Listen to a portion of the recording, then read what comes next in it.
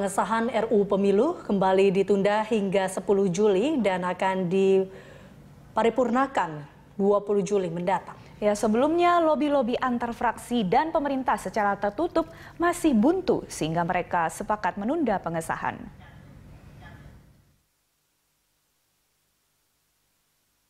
Pembahasan RUU Pemilu yang belum juga berujung menuai sejumlah tanya. Kuat dugaan pembahasan RUU yang syarat dengan kepentingan partai politik ini akan berakhir dengan barter politik. Barter yang digadang-gadang akan dilakukan antara pemerintah dan partai politik adalah terkait dana partai politik. Pemerintah melalui Menteri Dalam Negeri Cahyo Kumolo sepakat jika dana untuk parpol dinaikkan 10 kali lipat dari sebelumnya Rp108 per suara menjadi Rp1.000 per suara.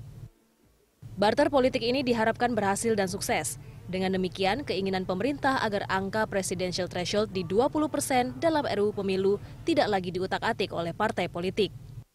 Namun isu barter politik ini dibantah oleh Wakil Ketua DPR Agus Hermanto. Menurutnya, kedua kebijakan itu tidak ada hubungannya sama sekali. Memang dana itu dikhususkan hanya untuk uh, dana pembinaan partai politik. Jadi uh, notabene adalah untuk kaderisasi sehingga memang dana itu sekarang pun juga sudah ada walaupun besarnya 108 itu itu juga diperuntukkan untuk pembinaan uh, partai politik. Jadi kalau untuk beli mobil gitu ya nggak boleh untuk apa beli gedung juga nggak boleh.